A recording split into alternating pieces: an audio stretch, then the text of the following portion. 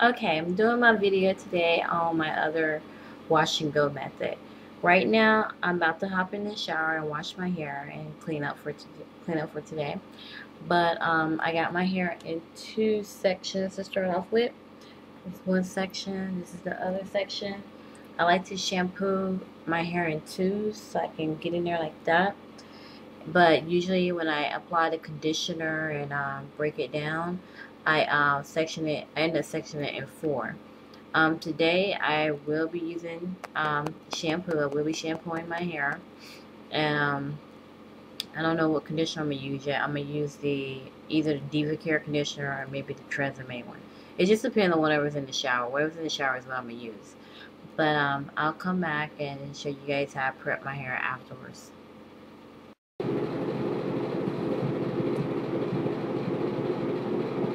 Okay, hi guys, I'm in my bathroom and I'm sorry it has a light in here that makes a lot of noise, I can't help that. But I'm gonna get on with it and show you guys how I do this. Um, I have my Eco Styler here. That's the gel I'm gonna use today. And I have my water bottle. Um, I like to put cold water in my water bottle so it'll fill my cuticle. So I'm gonna use some really cold water and put it in here. Sometimes I have time, I even like put my water bottle in the freezer for a little bit, just so um, it can get even colder. Uh, water bottle.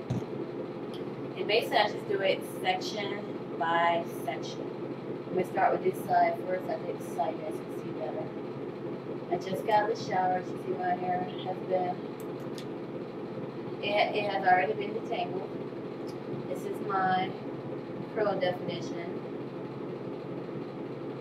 But I get it all like defined and stuff like this after I finger comb it and after I put the conditioner in. Like when I'm putting shampoo in my hair, my curls are not this defined at all. But after I put some conditioner in it and finger comb it, it'll get more defined. And I can't just leave my hair like this because it'll draw out, draw up big time.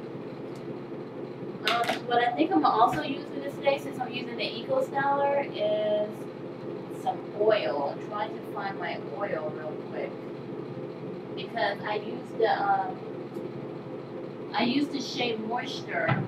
I used the Shea Moisture after my Styler gel is dry. Hold on one second. Here, the gel. But I'm gonna start by spraying my hair a little bit more. Oh, I forgot something. Oh, right. Oh yeah, I can't forget my leave-in. and this is the leave-in conditioner I use. It's the generic Paul Mitchell's the conditioner, which you can get from Sally's. So, spray my hair a little bit with water. I'll put in my leave-in conditioner. About that much. Just put that on my hair. Focus on the ends mostly.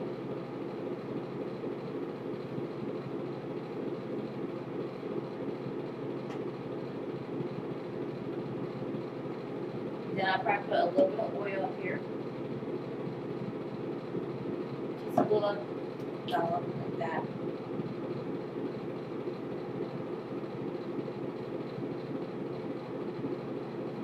Then I'm gonna get a big glop of the Eco Styler, like that. And I'm probably just gonna use that for like part of this. So I go ahead and slap that on.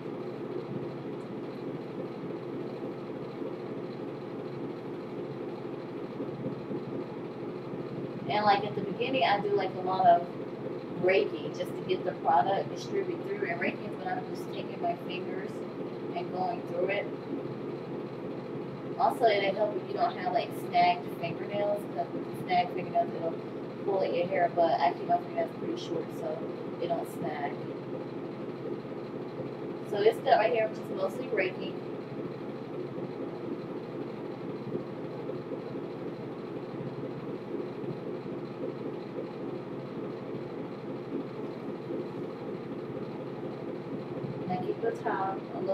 más.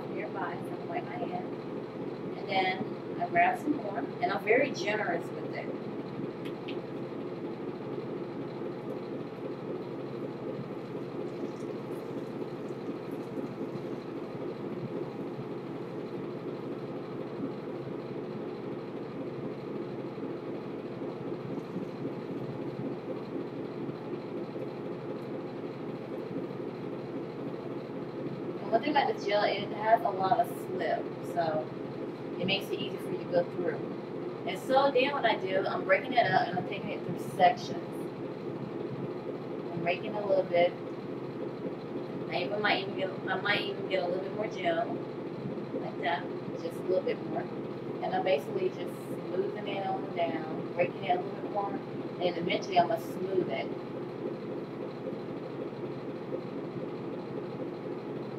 So now I'm gonna start smoothing it where it just looks straight. You see that?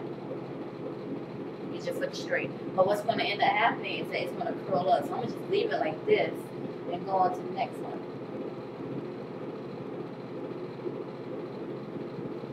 I rake it through it first.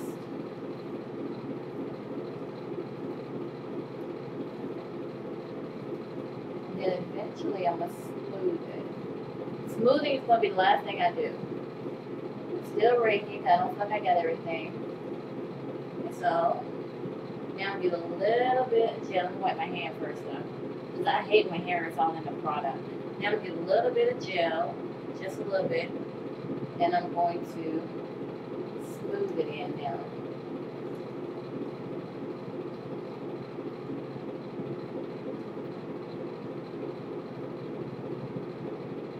There Where it basically looks straight. And I just continue on until I get all of them.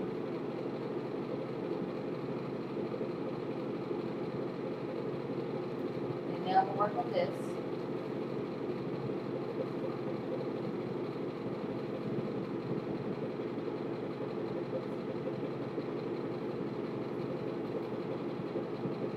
And I'm actually very gentle with my hair. I'm not. It looks like I might be, I might be being rough, but I'm not really that rough with my hair. I'm actually quite gentle.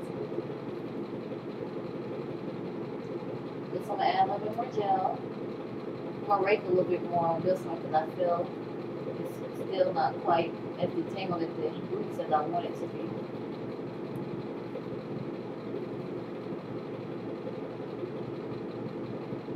Gentle with it. Going through it. And now I'm about to smooth it.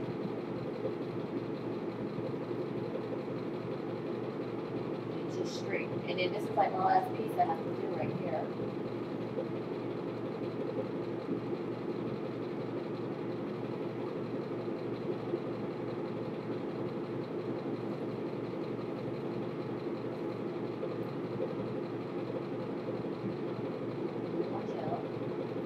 And just put gel in places where you feel it's not coated at.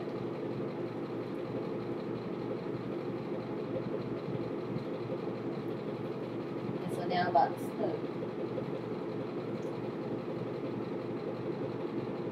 So basically, smoothing is the last thing I do. You see, that's what it look like. It look kind of stiff, look kind of hard right now, but um, when it starts to dry, it'll break apart, uh, and then also it will be hard, but that's why I use the Shea Moisture Force to soften it. Wipe this off my hand real quick.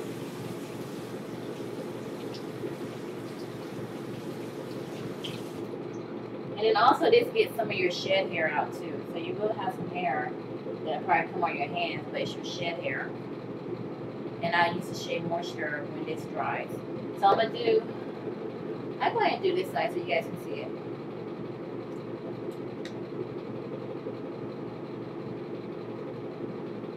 So I'm gonna put, I'm gonna spray it down with water.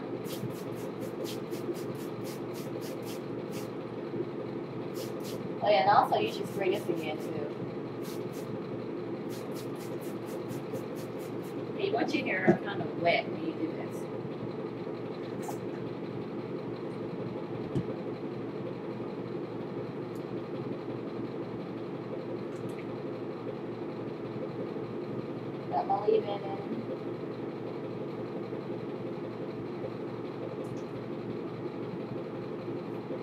see how bushy my hair is here?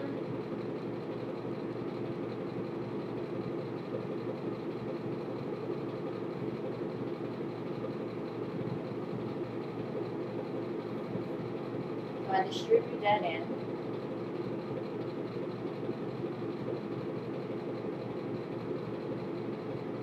Put a little bit of olive oil in it. I don't put a lot of olive oil, just a little bit because remember I put the shea but the shea moisture in um, later when it dries. That's gonna moisten it up, give it a lot of moisture. I'll put that in.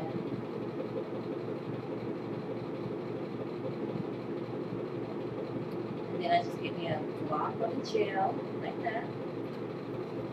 And just put it in the whole section at first. And then eventually I go back and break it down.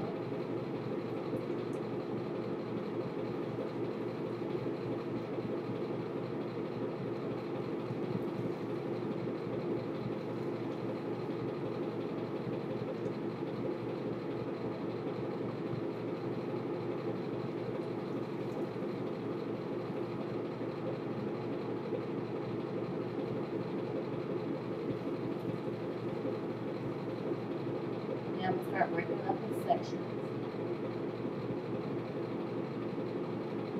So I took the whole this part.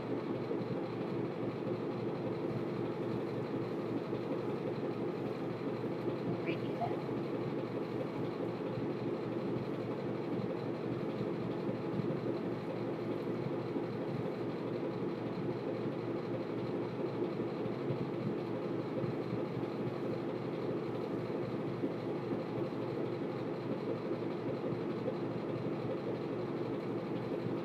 And this method would probably work better for people who have a tighter curl pattern than I do, because I know those with tighter curl pattern usually love the Eco gel. And um, this should work for you guys.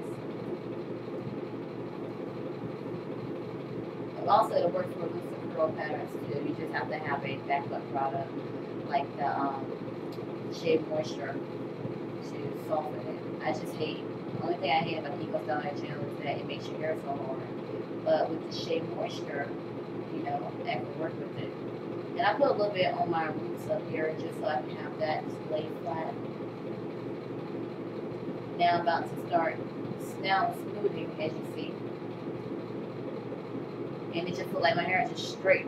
But what's going to happen is it's going to curl back up because it's just what our hair do. It's going to curl. But it's going to give us the least amount of shrinkage, you know, that you can have when you do it like this. I'll probably shake them a little bit though. It break up a little bit more. Now move to the next section.